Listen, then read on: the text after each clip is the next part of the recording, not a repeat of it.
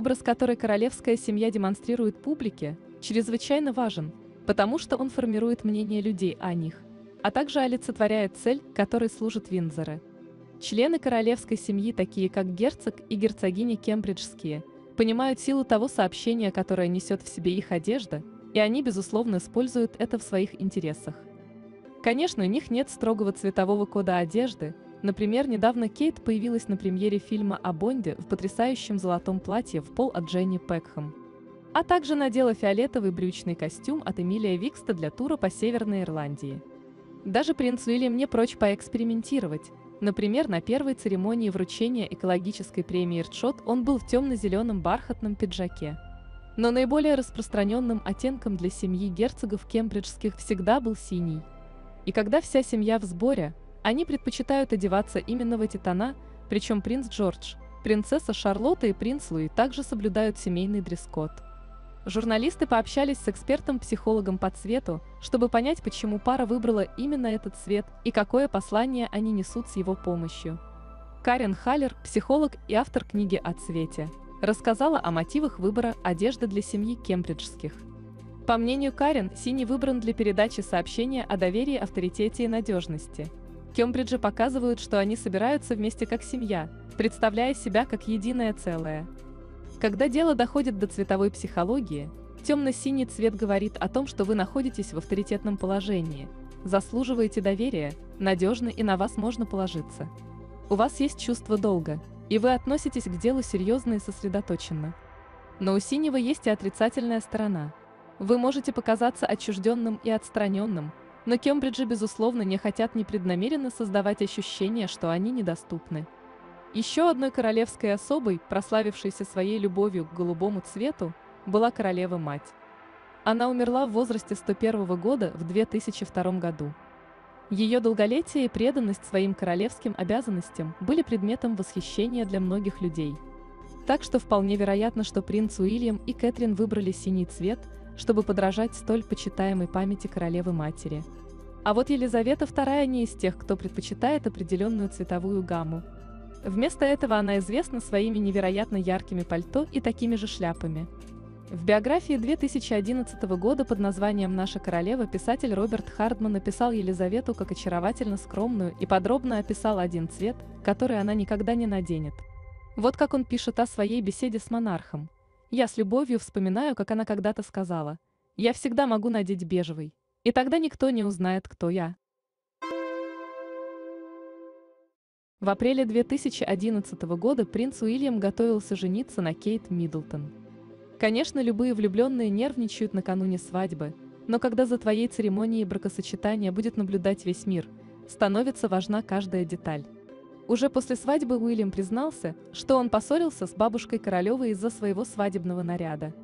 Принц хотел появиться в Вестминстерском аббатстве в центре Лондона в одном наряде, а Елизавета II предлагала другой – Через несколько месяцев после свадьбы герцог Кембриджский вспомнил этот эпизод в одном из интервью.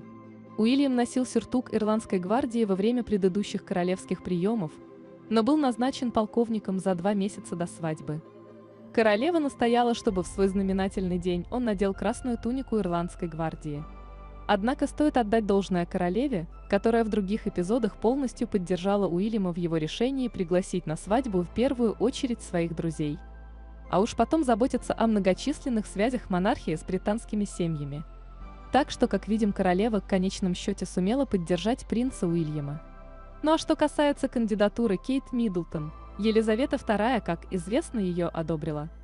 С момента свадьбы прошло уже 10 лет, и кембриджские стали родителями троих маленьких детей и берут на себя все большую роль в королевской семье.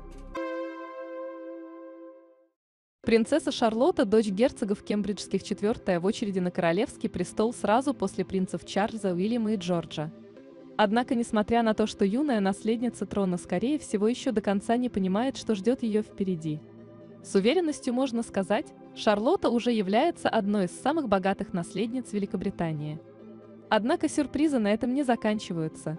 Маленькая принцесса скоро получит в наследство от своей звездной бабушки еще одну семейную реликвию – Эксперты Букингемского дворца недавно поделились интересной информацией. Оказалось, что как только принц Уильям станет королем Великобритании, то у юной Шарлотты появится право выбрать дворцовую драгоценность. Но это еще не все. Стало известно, что в доме британской короны уже ведутся переговоры о том, что принцесса унаследует тиару Спенсеров. Семейное украшение принадлежит ее бабушке, принцессе Диане, которая трагически погибла в автокатастрофе в 1997 году. Интересно, что с этой семейной реликвией знакомы многие. Традиционный королевский головной убор принцесса Диана первый раз надела в 1981 году на свою свадьбу с принцем Чарльзом. Кроме того, тиара украшала голову Уэльской не только на этой церемонии. Диана использовала ее на государственных ужинах в 1983 году в Брисбене, Австралии. Известно, что в настоящее время тиара хранится у младшего брата Дианы, девятого графа Спенсера Чарльза, который живет в семейной резиденции Олтерпов, которая в скором времени будет унаследована Луи Фредериком Джоном Спенсером. К слову, Уэльская выбрала фамильную тиару Спенсеров, чтобы подчеркнуть не только свое происхождение, но и отдать дань уважения семье, которая воспитала ее прекрасным человеком. Существует легенда о том, что Диана часто выбирала это украшение, чтобы сохранить свою личность, историю и происхождение. Оказалось, что Уильям прекрасно знает, что у графа есть собственные дочери, однако они оба согласились, что культовое украшение Дианы будет принадлежать ее первой внучке. Многие могут вспомнить о недавно появившейся на свет малышке Лилибет, но она не является первой дочерью будущего короля – по правилам Королевского кодекса невесты представителей монаршей семьи одалживают головной убор у королевы. Но когда принцесса Диана выходила замуж за Чарльза, то решила использовать одну из семейных реликвий вместо тех, что принадлежало дому британской короны. Тиара Спенсеров начинает свою историю с 1930-х годов и была разработана британским ювелирным домом Гэррот, который также работал над другими драгоценностями, принадлежащими этой семье в том числе украшение в форме сердца, которое стало свадебным подарком Диане от ее бабушки, леди Изабеллы, седьмой графини Спенсер. Оказалось, что юная Шарлотта в курсе того, что в скором времени станет владелицей самого культового украшения в истории монаршей семьи. Инсайдеры говорят, что у будущей наследницы трона кружится голова от волнения, потому что стать хозяйкой такого украшения действительно большая честь. Шарлотта знает все о своей бабушке Диане. В конце концов, Диана одно из ее второго имени. Она также видела фотографии, на которых Диана была в этой тиаре, сообщил источник. Оказалось, Шарлотта уже давно осведомлена о том, что она принцесса. Девочка готовится к этой роли, примеряя игрушечные диадемы и платья. Сегодня принц Уильям носит почетный титул герцога Кембриджского, а вот в школьные годы к нему обращались совсем не по-королевски – Оказывается, у внука Елизаветы II было далеко не самое престижное прозвище. Дело в том, что в юношестве принц Уильям не отличался примерным поведением. За характер герцога Кембриджского наградили нелестным прозвищем. Шумный, дерзкий и непокорный, Уильям вскоре рассердил своих одноклассников. Проталкиваясь вперед в очереди на обед и участвуя в драках на игровой площадке, рассказал королевский биограф Роберт Лейси. По словам королевского эксперта, Одноклассники называли юного принца Уильяма Башором Уилсом или Билли Башором. Уильяму еще не исполнилось 10 лет, а он уже установил образец открытого пренебрежения и агрессии по отношению к своему отцу, который будет отмечать его раннее взросление.